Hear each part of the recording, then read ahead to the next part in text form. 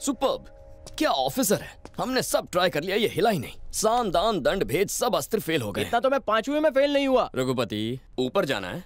उसकी family details निकाले। मैं नहीं जानता। एक बेटा और बेटी है। बेटा बेटी बेटा बेटी बेटा बेटी। बेटा क्या करता है? पता नहीं। बीटेक करके निठल्ला बैठा है। सारे इंजीनियर्स इंजीनियरिंग करके निठल्ले बैठे हैं। सही कहा ना रघु? अरे मैं गूगल बाबा हूँ क्या? मुझे नहीं पता। बस एक ही ऑप्शन है। एक काम करते हैं। उसके बेटे को किडनैप करके यहाँ लेकर आओ। उसे पता ना चले किडनैपिंग हमने की है। यहाँ दो दिन रखेंगे उसे। ऑफिसर परेशान हो जाएगा और अपने बेटे को बचाने के लिए उन पेपर्स पर ज़रूर साइन करेगा। ये प्लान गारंटीड काम करेगा। दिस इज़ फिक्स्ड वैसे रघुपति, तुम बेवकूफ़ी की दुकान हो। सही आदमी को किडनैप करना, वरना लेने के देने पड़ जाएँगे। सूर्या का आइडिया एकदम कड़क है। जैसा कह रहा है वैसा करो।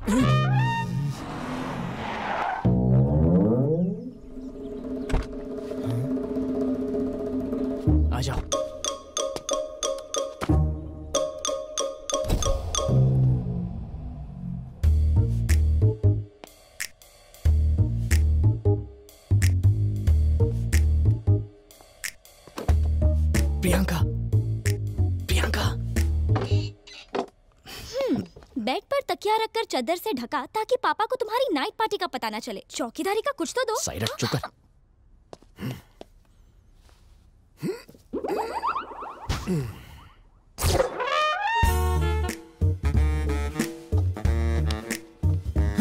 ये क्या? दरवाज़ा हमारे लिए खुला रखा है? चलो।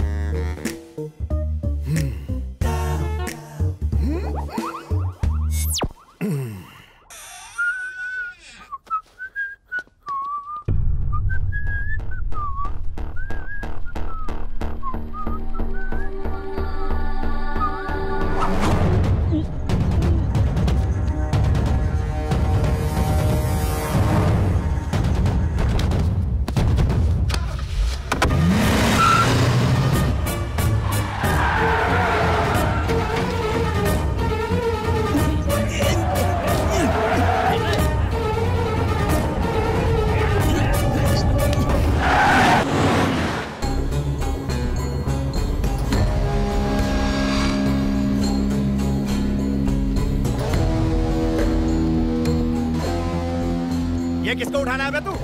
लगता है किसी सांड ने एनर्जी ड्रिंक पी लिया। एनर्जी ड्रिंक नहीं पी भाई। लगता है दस लीटर पेट्रोल के साथ उनतीस किलो आरडीएक्स खा गया। गाड़ी को हिला हिला के बैलगाड़ी बना दिया। रुक पहले सूर्या को फ़ोन लगाता हूँ। अब सूर्या को फ़ोन लगाने की क्या ज़रूरत है? हमारी की गई किडनैपिंग का कचरा कर देगा। अरे लाइफ में पहली बार तूने परफेक्ट किडनैपिंग की है। उसे बता दो तू इस सांड का क्या करना वो बताएगा। हाँ कर लो फ़ोन हट। सूर्यो बिज़ी लागे क्या? ये दुल्हन की शक्ल दिखा मेरे को। हटाता हूँ भाई। मेहनत मैंने की प्रसाद तू खाएगा चला रघु पर्दा हटाएगा।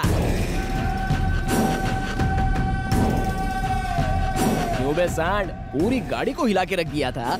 अब रॉक एंड रोल नहीं करेगा। जानता है तुझे किसने किडनैप किया है? मैं रघुपति हूँ। दुनिया में तुझे मुझसे कोई नहीं बचा सकता। तू तो गयो।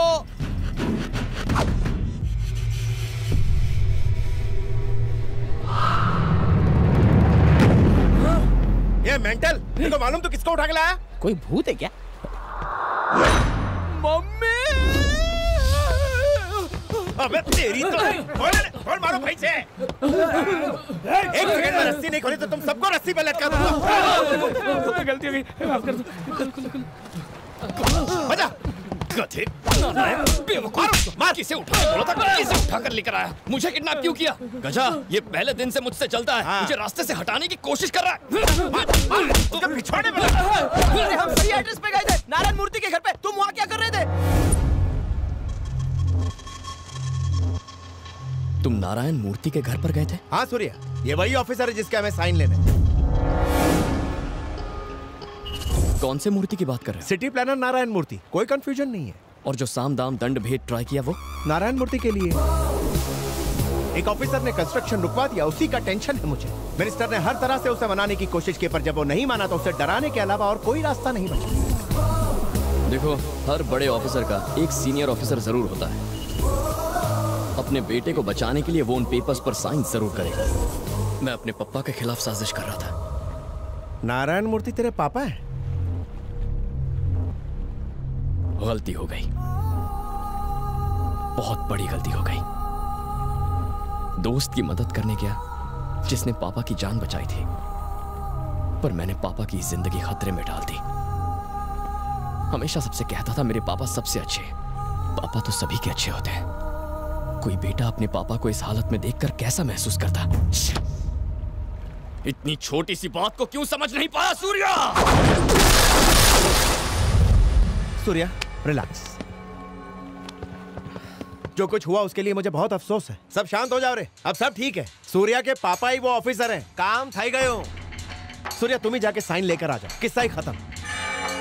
सूर्या साइन ले आओ ना। कौन सा साइन? सब कुछ तो पता है सूर्या। फ़ाइल पे एक साइन लेकर आ जाओ पापा जाओ उसे। उसे भूलना इम्पॉसिबल है सूर्या।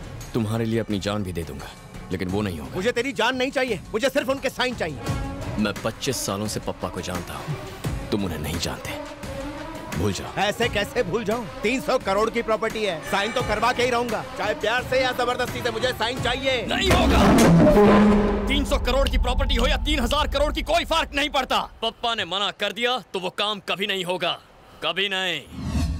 गजा भाई से ऊँची आवाज़ में बात करता है।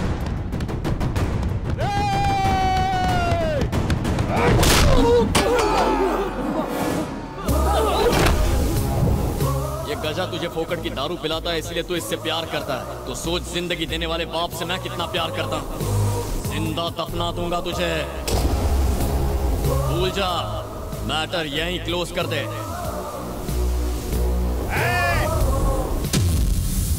बेटे को किडनैप करेंगे तो बाप झक मार के साइन करेगा ये तूने ही कहा था। इसके हाथ पैर तोड़ के रस्सी से बाँध दो साले को। मुझे मार खाने का शौक नहीं है।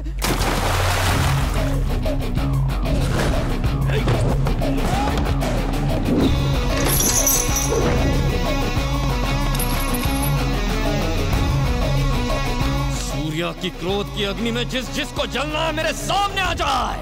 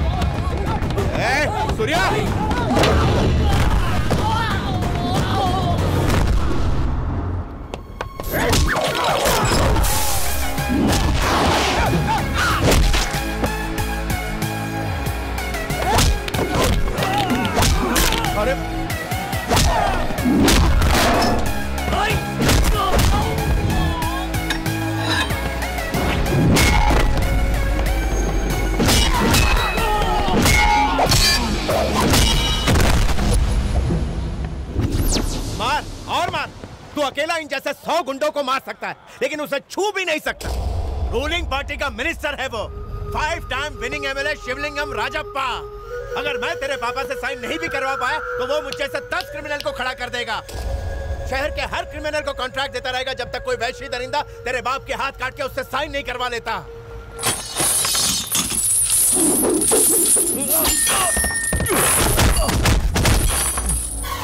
कान खोल के सुन ले। वो बड़ा मिनिस्टर हो शहर के हज़ार गुंडों को जानता हो पार्टी और गवर्नमेंट का उसे सपोर्ट हो चाहे कोई भी पापा की जान का दुश्मन बने।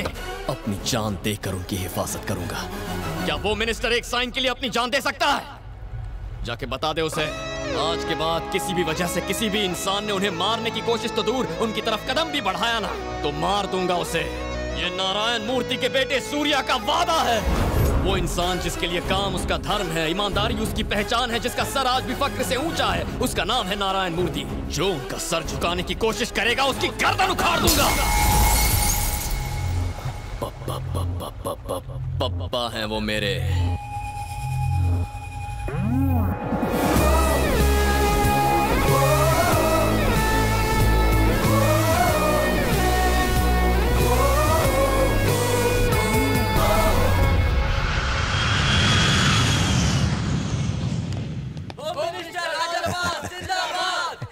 हो? अरे अभी तक होम मिनिस्टर बना नहीं अरे हो। बनी गए जीजा जी। हाँ। पार्टी प्रेसिडेंट का फुल सपोर्ट है आपको। सत्ता के गलियारों में बस एक आप ही की तो चर्चा है। सर ये आपके लिए गिफ्ट हाँ?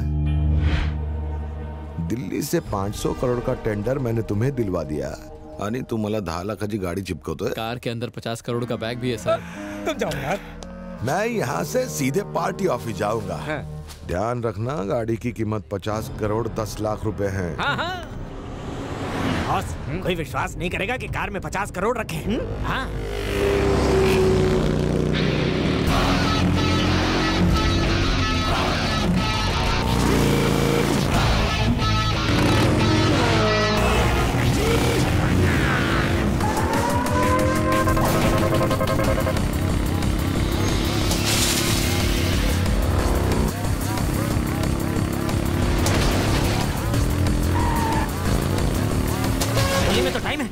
के फुगे क्यों फेंक रहा है? ये होली नहीं खेल रहा है। कुछ तो लोचा ज़रूर है। हाँ? ये पानी नहीं है पेट्रोल है।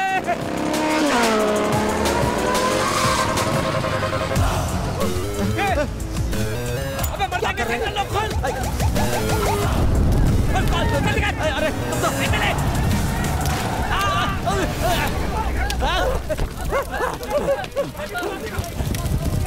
बच गए वरना हमारा तो तंदूरी बन जाता।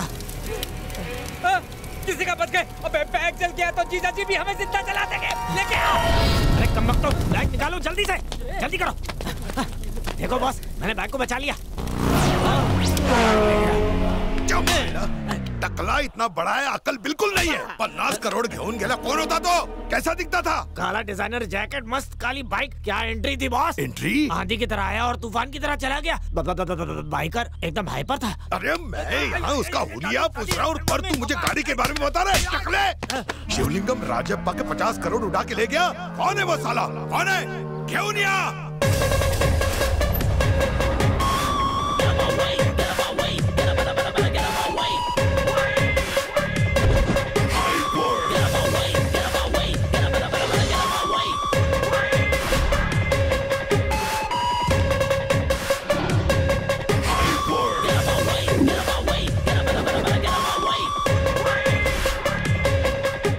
मिनिस्टर से मिलना है। नहीं अभी नहीं। मिनिस्टर साहब टेंशन में है।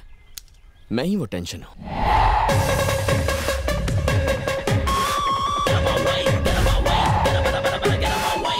ये लीजिए आपके पचास करोड़ रुपए। मैंने ही लूटे थे। हम मुखी दे। बेसो ने सर।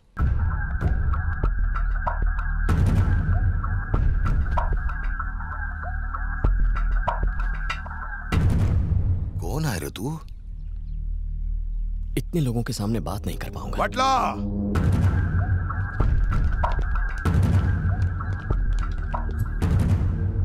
तू बली भाई का आदमी है जिसकी सौ एकड़ की ज़मीन मैंने हड़प ली। नहीं सर। तो तू उस पटेल का आदमी है जिसको एक टेंडर के लिए मैंने टपका दिया। नहीं सर। तो तू उस रघुराम गैंगस्टर का रिश्तेदार सर सर सर। मैं इनमें से कोई नहीं। मैं एक मिडिल क्लास गवर्नमेंट एम्प्लॉय का बेटा हूँ नारायण मूर्ति का। चले जाइए यहाँ से। सर मैं अपने बारे में आपको कुछ बताना चाहता हूँ। दुनिया का हर बेटा अपने पापा से थोड़ा सा डरता है, उनकी इज़्ज़त करता है, उनसे प्यार करता है। लेकिन मैं अपने पापा के लिए पागल हूँ। इतना पागल हूँ कि मेरे पापा की जान बचाने पर मैंने एक गैंगस्टर से दोस्ती कर ली। आप ही का आदमी है, गजा। जब उसने मुझसे पेपर साइन करवाने की बात की तो मैंने साफ़ इनकार कर दिया। उसने कहा, आप नहीं मानेंगे तो आपसे मिलने चला आया सर, सोसाइटी के ज़्यादातर लोग पैसा, पावर और प्रेस्टीज के पीछे भागते हैं। आप भी उनमें से एक हैं। लेकिन मेरे पापा ईमानदारी के लिए जीते हैं। पूरे करियर में उन्होंने कभी किसी से रिश्वत नहीं ली, सर। एक गवर्नमेंट एम्प्लॉय को ऐसा रिकॉर्ड मेंटेन करना बहुत मुश्किल होता है, पर उनके लिए नहीं। एक अरब पति होते हुए भी अगर आपको पचास करोड़ खोने का इतना ज़्यादा दुख हुआ तो वो अपना स्वाभिमान और उम्र भर कमाई हुई इज़्ज़त कैसे खो सकते हैं? वो भी एक छोटे से साइन के लिए। ये तो नाइंसाफी है ना? मेरे पापा पंद्रह दिन में रिटायर होने वाले हैं। उन्हें खुशी खुशी रिटायर होने दीजिए। फिर जो करना है कीजिए। यही बात बताने के लिए आपसे मिलना चाहता था। किसी मिडिल क्लास आदमी को आपकी अपॉइंटमेंट लेना मुश्किल होता है। इसीलिए ये सब करना पड़ा। प्लीज़ ट्राई टू अंडरस्टैंड मैं चलता हूँ।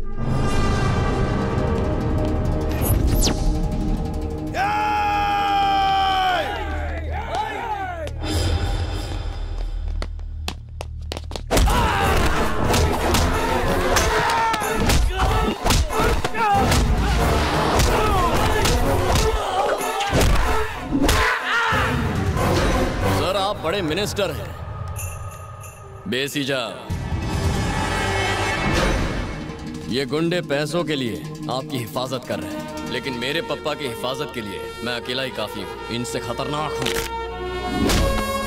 और आपसे भी। लगता है मेरी बात आपके खोपड़ी में नहीं घुसी। आखिरी बार समझाता हूँ। अगर मेरे पप्पा खुश तो मैं भी खुश। ये थी पर्सनल बात। इसे भूल जाइए। अगर मैं खुश रहूँगा तो आप भी खुश रहेंगे। ये आपके इंटरेस्ट की बात है। इसे मत भूलना।